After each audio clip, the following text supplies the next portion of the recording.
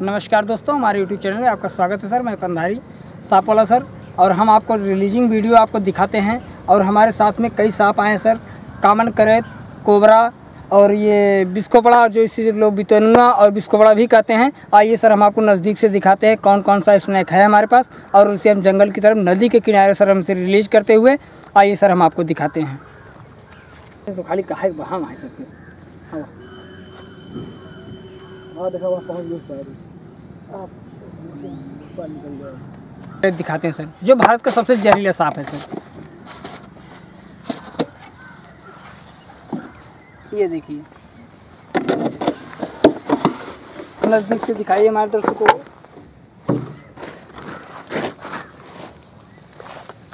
ये है कॉमन करेज, सर। देखिए।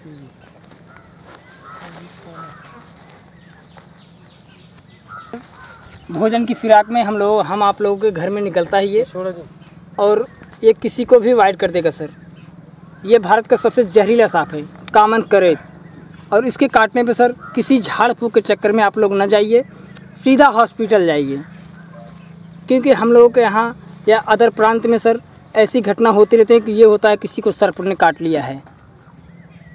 इसी के काटने सर मौत होती है। और वीडियो को देखकर आप लोग ऐसी गलती न करिए।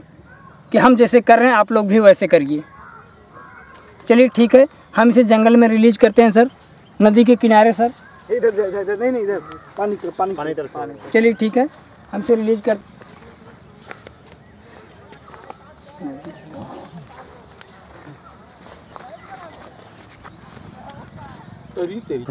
चलिए ठीक है सर।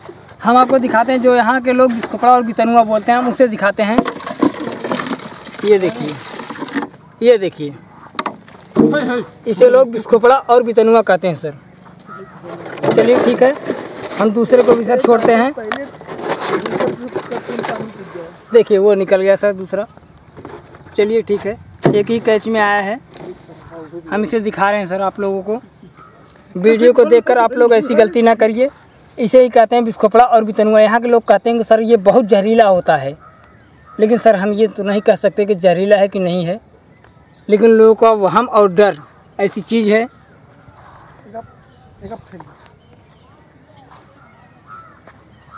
ये देखिए। इसकी पकड़ बहुत मज़बूत होती है। ये देखिए। पकड़ इसकी बहुत मज़बूत होती है। देखिए। नज़दीक से दिखाइए हमारे दर्शकों को, ये देखिए। देखिए, कितने गुस्से में, देखिए। कितने गुस्से में है ये। ये देखिए। चलिए ठीक है। हम इसे भी रिलीज़ करते हैं सर। नाखून तो सर हमारे हाथ में लग रहा है इसका। का क्योंकि काफ़ी गुस्से में है ये। ये देखिए। चलिए ठीक है दोस्तों हम इसे भी रिलीज़ करते हैं इसी जंगल में। ये देखिए। ठीक? लोग कहते हैं जो छोटा साइज़ जो छोटा साइज़ रहता है उसे लोग नागिन कहते हैं। और जो बड़ा साइज़ उसे नाग कहते हैं। आइए देखते हैं सर ये नाग है या नागिन? ये हम नहीं कहेंगे देखिए इसको। ये काफ़ी गुस्से में है सर। भैया थोड़ा वो हमारा स्टिक दे दीजिए आप। छड़ी दे दीजिए। आप लोग घबराइए मत। देखिए।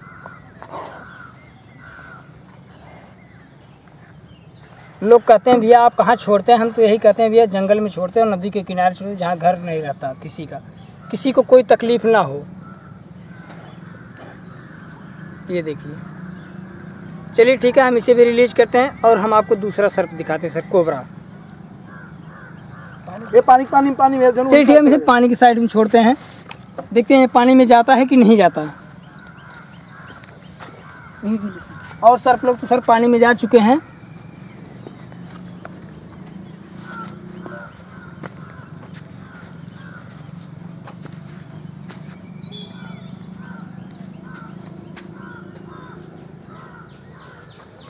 सत्रह बजे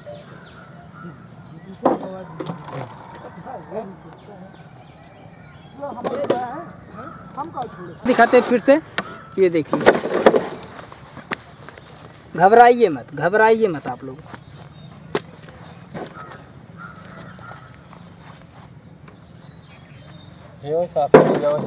ला रही है, ला रही है, आप शांति बनाकर रखिए। ला रही है।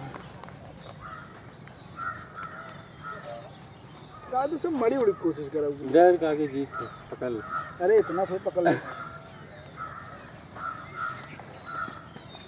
और इधर ले इनका ये इनका मार्ग फन कढ़ा हुआ ये आप लोग शांति बनाइए थोड़ा सा।